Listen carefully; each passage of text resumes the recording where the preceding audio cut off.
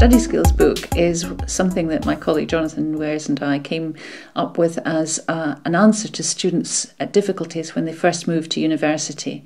Um, coming straight from school, it's easy to think that uh, the system will be the same when in fact it's really quite dif- different.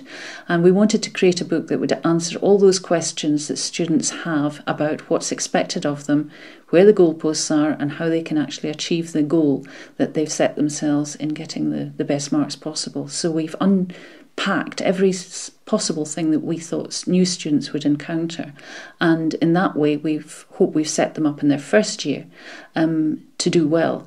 But the book is a book that will go through first, second, third, and fourth year if it's a four-year course.